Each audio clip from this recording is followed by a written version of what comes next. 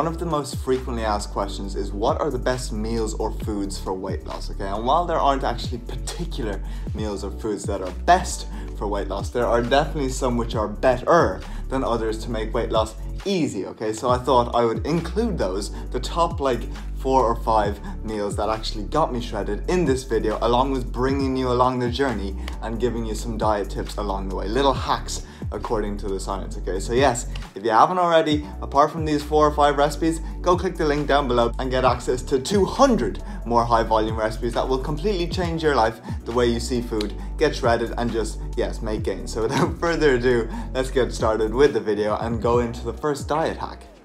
And when I say diet hacks, I don't mean the typical ones like eat your fruits, your veggies, your high volume foods, load up on water and diet sodas. I'm talking like some special ones according to the literature that you probably haven't heard before. So the first one is going to be to load up on chewing gum, okay? So loads of different flavors. There's like the bubble gum one, just the spearmint or the peppermint. Comment down below what your favorite flavor is. That's right, chewing gum, okay? I know a few of you might actually say it promotes hunger, but there is a large amount of literature out there actually showing it helps suppress hunger. So Marie in 2012 actually showed that chewing gum for at least 45 minutes significantly suppressed rated hunger, appetite and cravings for snacks and promoted fullness. So you can see in the graph, especially at time point number four, the ratings of fullness are far, far greater in the no gum group compared to the gum group. So yes, that is pro tip number one. Give it a go and you might be a responder.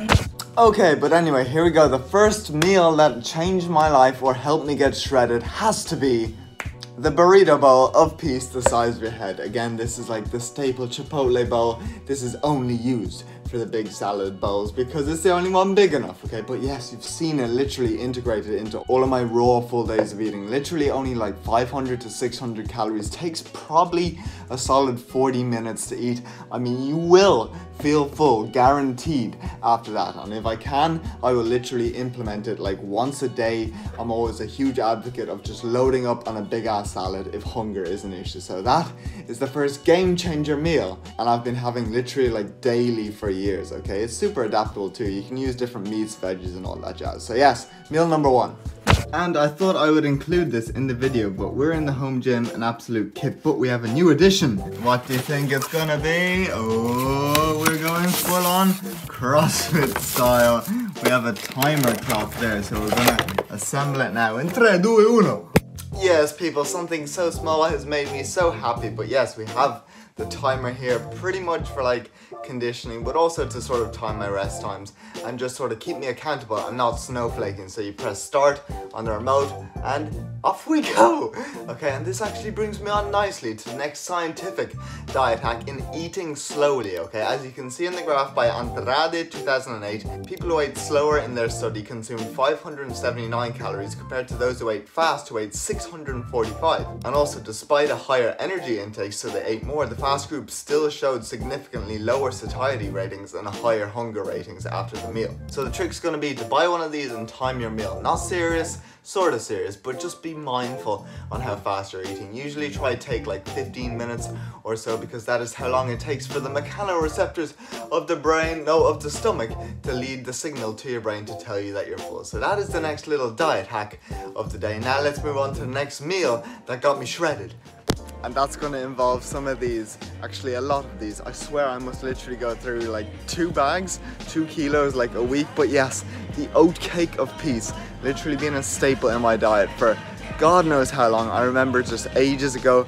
I came up with it and uh, ever since I've just been perfecting the amount of volume you can get. A pair it with like fruits, yogurt, jelly. You've seen me integrated, okay? That has been another game changer meal that you have to integrate into your diet, uh, you have to try it out. I mean, at least once. And I know it might sound strange, but when it comes to oats, all are not created equal, okay? So the Odlums ones are good and the Flahavan's ones, these jumbo ones, they're no good, but the jumbo ones in Lidl are good in terms of adding volume. And if you like creamy style oats, the organic ones are good, but they're pretty damn pricey. No one's gonna pay 2.75 when you can pay like one euro. And another benefit, of course, is seeing as the meal is literally so big, there is no other option but to eat out of bowls the size of your head.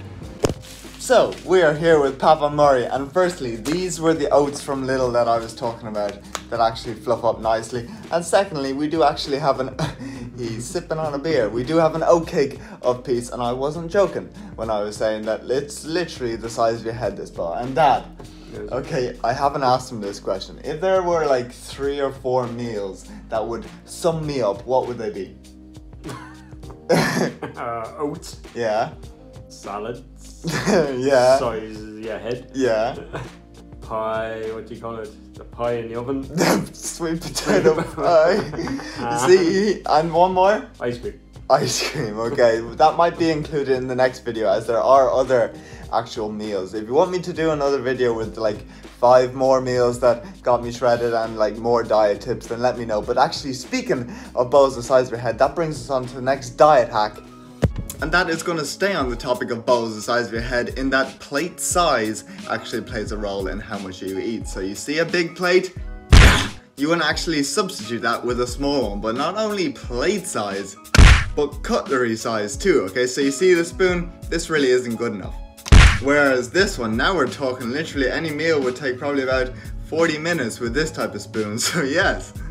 You might not have thought it, but sitting down with a small spoon and a small plate and just nibbling as you go is actually backed by the literature. So in terms of research, you can see Wansink 2005 showed that when presented with a large bowl, participants consumed 31% more ice cream than with a smaller one, okay? And to add to this, when eaten with a larger spoon, further increased how much they ate by 14.5%, concluding that those interested in losing weight should use smaller bowls and spoons, while those needing to gain weight should be encouraged to use larger ones. So this is gonna be a game changer tip. Get nibbling with your tiniest spoon you can find, okay? So that is that. Now let's move on to the next meal that got me shredded. Oh my god, this ball and I would actually consider this one more as a snack, okay? But sugar-free jello and Skyr yogurt, okay? Literally, I would remember studying up here, okay? And I would just be like, oh my god, I am so hungry, but I have to stick to my macros. What can I have? My next meal isn't for like another one or two hours. So yes, this whole tub of jelly is like 91 calories. And then add that with like a serving of like Skyr or something. This is super thick, so it sort of coagulates and sits in the stomach like a perfect sort of snack to keep you full. So that is an absolute game changer. Not only as like a snack itself, but you've seen I've implemented jelly with other meals and also Skyr like the sweet potato pie and the oat cake of peace and all that type of stuff. So yes, that is going to be that. Now let's move on to the next diet hack backed by science and that is going to involve some whey protein, okay? And this is actually quite an interesting study, okay? So essentially, Akhavan 2010 gave people a range of different protein amounts from 10 to 40 grams before going absolutely beast mode on a buffet of pizza, ad libitum intake, okay? Showing the 40 gram group to consume 837 calories. You can see that in the table, but the control group who had no protein shake beforehand actually ate 1,142, so a lot more than the guys who drank protein beforehand, thus concluding that whey protein consumed before a meal might help reduce food intake. So yes, if you're on like holiday or whatever and about to go absolutely ham on some pizza or like croissants or whatever, oh my god what I would give for like a buffet. no, we're not getting there. Then maybe just sip on a protein shake beforehand and you might subconsciously eat less. So that is the next little diet hack. Okay, now let's move on to the next meal that has got me shredded.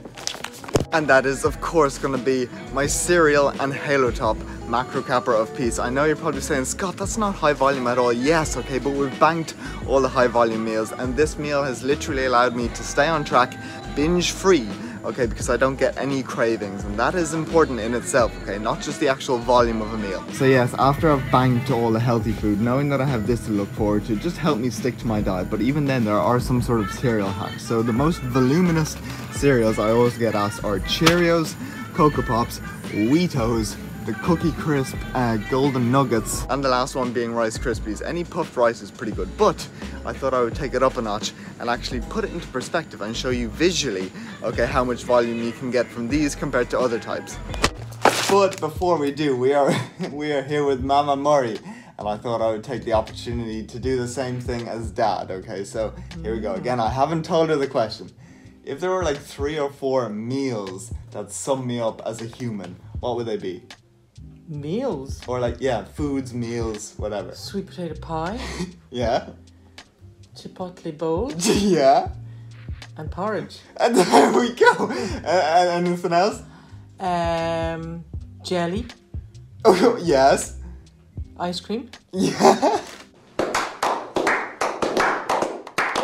That proves that these meals are literally like a staple in my diet. So let's get to this experiment. Okay, so here we go. We have an array of cereals, the ones I have at home. So we have Rice Krispies, Cookie Crisps, Weetos, and Cheerios. And then we have Dad's granola and some of the milk chocolate pillows. So what we're gonna do is weigh out 100 grams of each of them in 3, 2, 1. And boom, there we go. So the bowls are pretty much all the same size and we have a clear winner in the Rice Krispies and Cheerios. But the Cookie Crisp and the Weetos are also pretty voluminous compared to this. Look at that little measly serving. Again, 100 grams and 100 grams. Dad loves this stuff. I don't know why he has that. So yes, those are key volume cereal hacks. I always get asked which ones are like my favorite. I would have to say all of these, maybe not the Rice Krispies, but they do add sort of volume if you mix and match them. So yes, that is that. Now let's move on to the next diet tip of the day. And you've probably sort of heard of this one before, but caffeine, okay? You've probably heard that it helps suppress appetite, but what you might not know is that there's a huge meta-analysis out there literally showing that like there's a clear positive linear relationship between the amount of caffeine someone drinks and overall 24 hour energy expenditure. So literally over the course of the whole day, you burn more calories just from adding like caffeine to your day. And of course, if you're not adding white chocolate flavor drops to your caffeine or to your coffee, you are missing out. So yes, that is the last actually probably little diet hack I'm to go over in this video. Again, let me know if you want a sequel to this video. But, okay, we have hinted on it uh, before in this video. Let's get on to the final meal that got me shredded. Yes, people, that's right. Did you guess it? Oh, OGs will know the sweet potato pie. Actually, in this case, it's the poverty pie from the recipe book. Of course, it fluffs up nicely and it's been a staple in my diet for literally like years. Again, topped with a skinny syrup or melon or jelly or whatever. An absolute game changer recipe. So that is the last meal.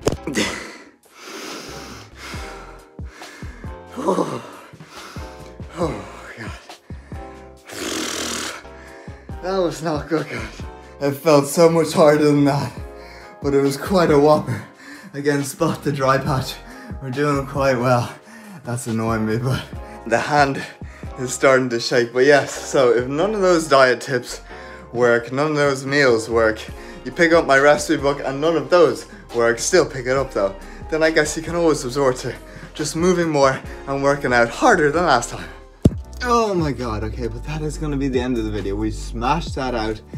Now it's time to relax, okay? So yes, let me know if you want a sequel to this video with maybe like three or four more meals that got me shredded and then more diet tips because there are more scientific little diet hacks, which I could easily go into, but that is that. Hopefully you gained some sort of value from this video. Don't forget to like the video, subscribe to the channel, and I'll see you all in the next video. Hope you all have a good day.